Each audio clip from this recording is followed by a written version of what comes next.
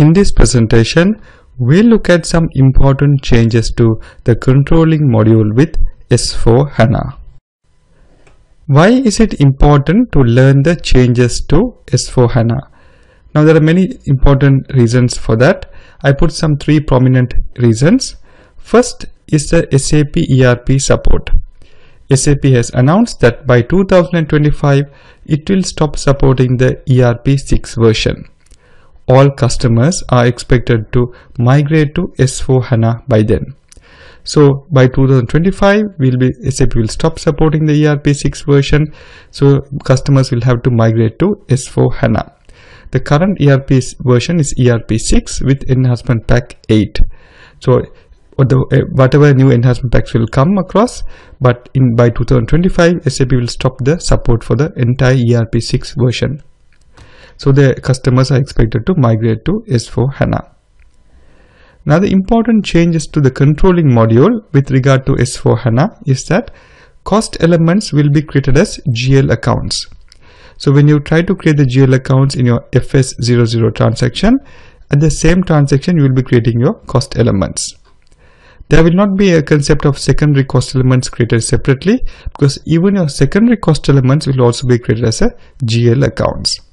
This is in regard to the universal journal entry table where in real time your CO and FI and your COPA asset accounting and some material ledger accounting information are all stored in one table. To facilitate that, all cost elements will be created as GL accounts. Another important change is that SAP's preferred method of COPA analysis is account based. Costing based you can still use if your customers are using costing based they can still use however to migrate to S4 HANA you have to activate account based COPA.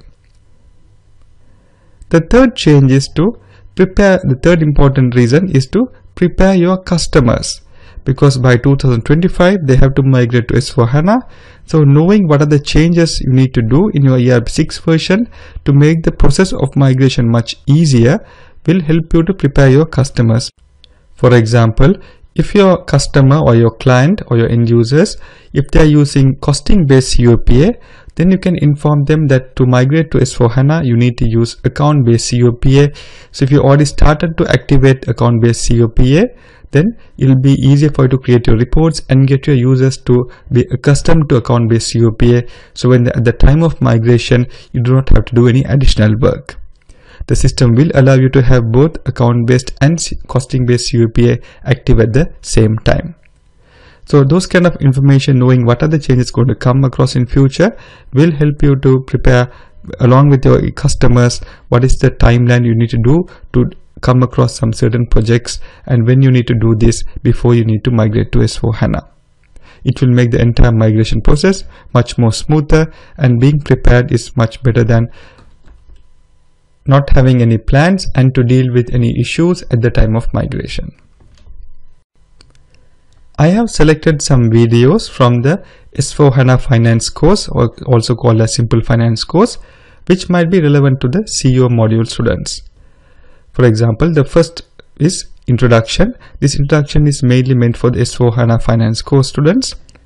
But then onwards, the overview of SAP HANA, HANA deployment options and architecture, overview of simple finance, central finance, GL and cost elements in simple finance, and CO module in simple finance.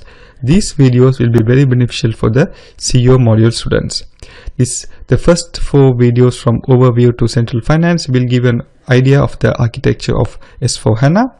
Then the two important changes which I mentioned with regard to cost elements and GL will be covered in this video and any other changes in the CO module with regard to the COPA and profitability analysis that is for your account based COPA and some other minor changes are covered in the CO module in simple finance video.